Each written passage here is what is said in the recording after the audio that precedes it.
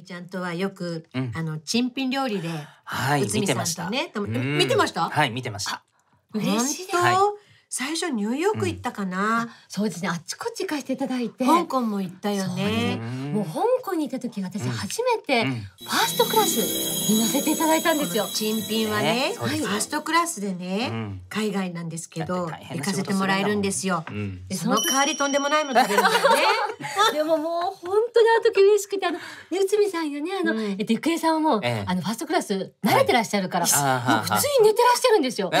もう私もうもったいなくってえー、これはもう一秒たりでも寝てる場合じゃないと思って、どんなものだか。ら打ち合わせの時寝てたんだ。そうですね。ごめんなさい。ちょっと休憩とかってちょっとカメラワークを変えるの ちょっと待っててくださいとかって言うと、みんなで円卓でねなんかこう喋ってたりするのに一人で か寝てるの。よだれなんか垂らしちゃったりなんかしちゃって。すいません。そこは起きとくべきでしたよね。そうよ。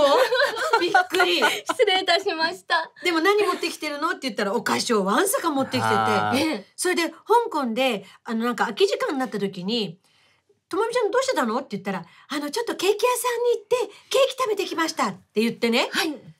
なんかすっごいどぎつい色の。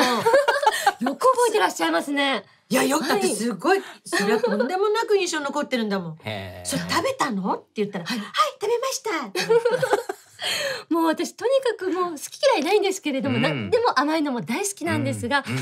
唯一食べられないのが虫なんですよ。